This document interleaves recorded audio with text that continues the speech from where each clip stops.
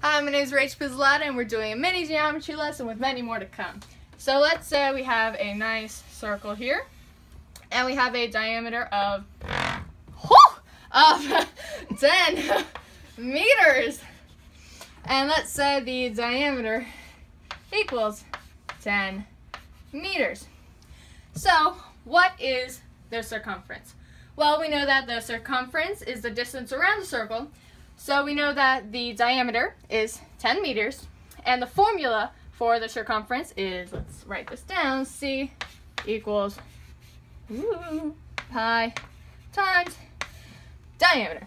So we know that, let's see, pi right there equals 3.14. Okay, let's do C equals 3. Ooh, ooh. 3.14 times 10 meters. Okay, now we know that the circumference equals 3.1.4 meters.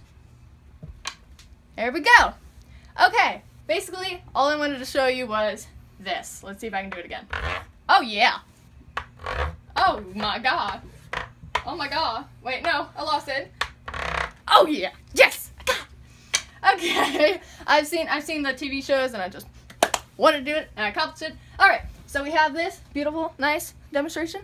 Thank you very much, and I will see you guys later. Bye!